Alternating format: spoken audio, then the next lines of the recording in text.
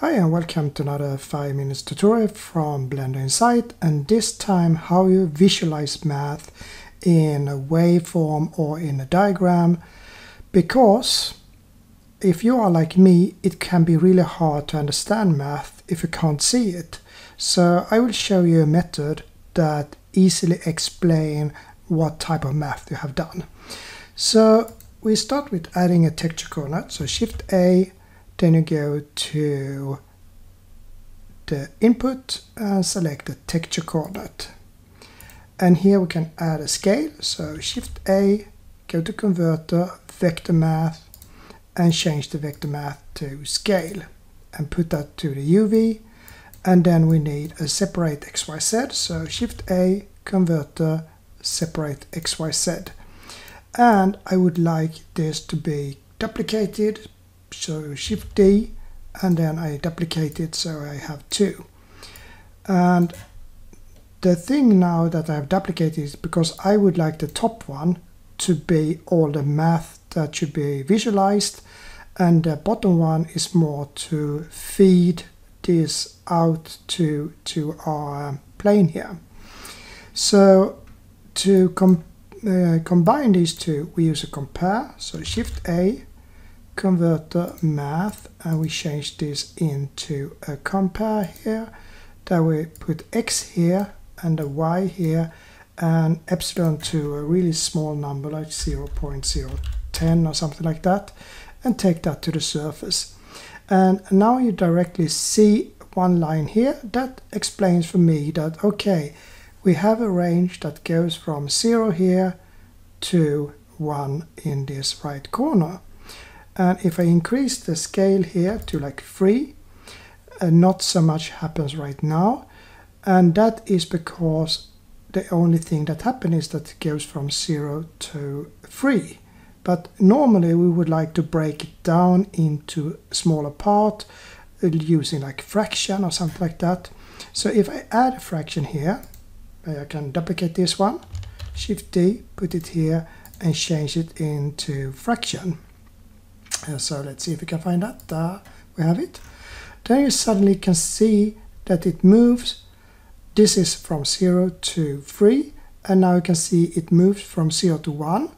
Then it stops moving here and starts in the 0 again to 1 and 0 to 1 and so on. So suddenly it's re really easy to see how this works. And normally what I like to do with this is often that I try to make an um, that starts like in the center and then you get positive in both directions when you're working with the UV because we don't want the uh, zero point to be here but we want it to be here. How does that look visualized? Well, then we can just add those that I think you've seen before, the subtract and the multiply after this one. So I duplicate this, Shift D, and then I select the subtract of 0.5 and this of 0.5 and now it went down. So to control it a little bit we can add an add here. Uh, so let me put it before the separate. So take this fraction duplicate it and make an add out of it.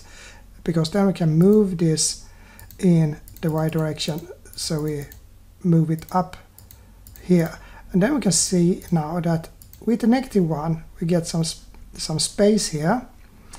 But with the negative of 0.5 we get it exactly to be on the edge here. And that means that this subtract here goes from a negative 0.5 to a positive 0.5 so then we multiply this with 2 shift D multiply by 2 like this.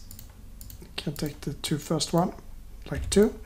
And then you see it goes up here. And if I now change this to to uh, negative 1 you can see it's still in the bottom here. If I take 0.11 you loses the part in the bottom. So now we can see it really is exactly between negative 1 and a positive 1 and if I would like to put in an absolute here then I just put in an absolute and now we see what happens here. Now it goes from a positive one to uh, now it goes from a zero in the middle here to a positive one and a negative one. So if I put zero here, you can see this is then a zero, one, one, zero, one, zero, and so on. And you can do whatever math you would like to do here. So if I would like, let's say, I would like to do a sine curve, then I just put in sine here and jump all of these things here and just connect the sine here and we get this wave here. And as you know, a sine goes from a positive to a negative 1. So I then take this up to a negative 1 and I can increase the scale. And you can see now that we get a sine wave here.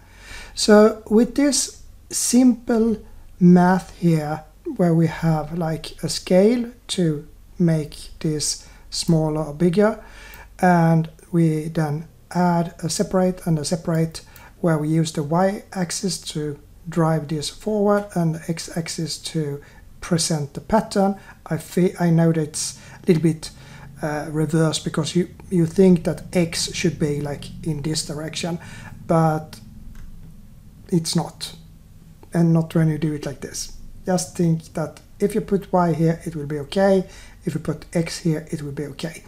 So here you can then add whatever math you would like to do and it's easy to see how it works. So if I would like to add this as a ping pong instead, then I can just change this into ping pong and we have to do that by a separate. So we do it after this one. So I take this directly from scale and we change this to ping pong here like this. And you can see how ping pong works. So you see it gets this triangular shape that it works from 0.5. Uh, so it's in this case, if we put this to 0, it goes from 0 to 0 0.5, 0, 0 0.5 and so on. So everything you add as a math here will then be visible curves and then you might easily or more easily understand how all these things works. So uh, hopefully you learned something today as well and I say bye for now and see you later.